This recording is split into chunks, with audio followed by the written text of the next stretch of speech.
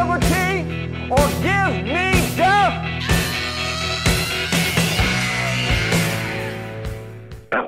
And I wanted to talk about something that you bring up every once in a while. Being in the telecommunications industry um, since 1990, uh, I was around when a certain law got passed. This was even before the Telecommunications Act in uh, 96 came around. This was called CALEA. CALEA, it's, it, which means Communications Access for Law Enforcement Act. That was passed in 1994. And what it provided was foreign companies who provide the box that enables American law enforcement to have access to do exactly what they're doing now, the snooping, reading all your emails. Yeah, it gave mainly an. Israeli company total control of everything and the capacity yeah. to spy on everyone as well. So that's why the NSA is totally secret and no one at the NSA is allowed to look at who's on the fiber because it's actually exactly. a turnover of the U.S.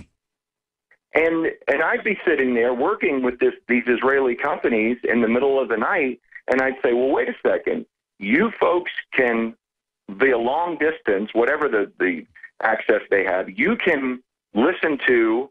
In other words, you have access to this same box that our law enforcement does, and we're supposed to believe, knowing what the Mossad has done with all their false flags and all of their tricks down throughout the years, we're going to believe that these Israeli companies don't provide Mossad. Well, see, it's political correctness. It, it, it's political correctness. It's like the school could take the 11-year-old girls to a porn shop because it was progressive.